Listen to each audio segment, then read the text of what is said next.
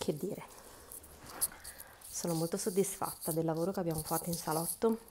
A voi sembrerà ancora pieno, in realtà abbiamo buttato 5 sacchi di roba e sono molto molto molto soddisfatta. Mm, l'idea era, dai facciamo finta di traslocare fra due mesi, quindi iniziamo a togliere quello che non ci serve, così almeno so che posso inscatolare tutto quello che c'è. Che per carità è ancora tanto, ma è tutta roba di mio marito, dipendesse da me, ci sarebbe niente. Poi c'è l'antipaticissimo cassetto dei documenti, eh, quelli occupano un sacco di spazio, però pensavo di prendere quei raccoglitori da mettere tutti dentro e metterli in una libreria, vedere se stanno in libreria, forse riesco a ottimizzare gli spazi e liberare quasi tutto il cassetto. Vedremo, comunque sono molto soddisfatta del lavoro di questa settimana e era da tanto che volevo fare questo lavoro ma non, non ero motivata per farlo. E invece ho trovato la motivazione con questa challenge e sono molto soddisfatta. Ora la prossima settimana toccherà alla cucina, partendo dal frigorifero e martedì mi toccherà la dispensa. E quella sarà una grossa cosa impegnativa.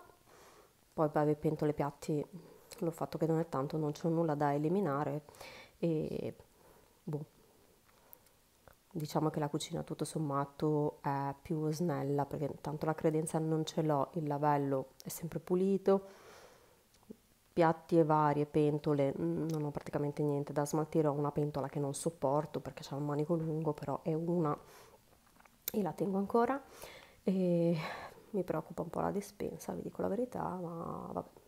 Semmai la farò in più giorni, al massimo posso lunedì in cucina oltre che il frigorifero dare una controllata anche alle tazze e tutto il resto in modo che la dispensa volendo la posso fare in più in più giorni perché la dispensa mi preoccupa moltissimo.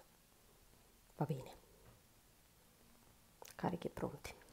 E eccoci qua. Allora ho pulito anche il lampadario oggi. Abbiamo fatto un più pulito la parte alta quello che vi dicevo del raccoglitore è che tutti questi fogli qua potrei metterli tranquillamente dentro un raccoglitore. Qua c'è il mio home binder. Non so se voi dovrei aggiornarlo un po' um, avevo fatto questo home binder con le pulizie con tutto lo schema per tenere casa pulita ordinata cosa fare cosa non fare quando mi avevano trovato l'aneurisma vicino alla mensa, non so perché avevo paura che da un momento all'altro potevo morire e quindi eh, avevo fatto questo, questa cosa su tutte le cose di casa, anche la spesa, quello che compravo, in modo tale che se mi viene un coccolone, mio marito sa cosa deve fare, le ragazze sanno cosa devono fare, che poi in realtà erano piccole perché mia figlia più grande aveva 9 anni e la piccolina ne aveva 4 no, ne aveva sei. Quindi insomma ero un po' preoccupata e avevo fatto questa, questa cosa qua per agevolare mio marito qualora mi fosse successo qualcosa.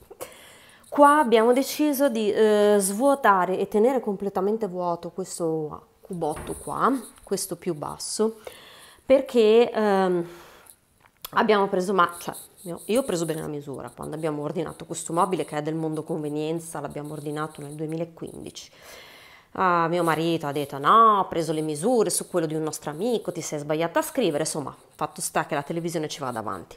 Per cui qua mettevamo cose che alla fine non usavamo quasi mai proprio per dover evitare di spostare la televisione, perché queste televisioni qua mi incutono un timore terribile. Per cui, visto che avevamo dei ripiani vuoti più in alto, abbiamo deciso di eh, spostare un po' di cose, buttare tante cose e e tutte queste cose qua, queste che stavano qui sotto, le abbiamo spostate sopra in maniera tale che siamo riusciti a far stare tutto. Là c'è una scatola di metallo, non so se voi la vedete, eccola lì. Quella è una scatola di biscotti che mi aveva regalato la mia vicina. Ci ho messo tutte le cassettine eh, dei video che facevamo con la videocamera, la prima che avevamo le bimbe quando erano piccoline dovrei trovare il modo di passarmele, dovrei trovare il modo di farmele passare su un cd da vederlo. Qua vabbè abbiamo messo tutti i libri, abbiamo messo le penne, questa è un'agenda assolutamente nuova del 2019, mai toccata della banca, ancora in tonsa e la volevo regalare a qualche mia amica che ha i figli che pasticciano così usano quelle. Qua abbiamo messo, eh, queste qua sono le cassette che ha tenuto mio marito, chissà perché, ah poi le ha messe qui, forse perché vuole provare a farsele passare su qualche CD, non so perché stanno lì, ma io in realtà ora che le vedo lì non ce le voglio. E qua ci sono queste due videocassette che abbiamo lasciato a portata di mano perché volevamo eh, farcele passare su un DVD.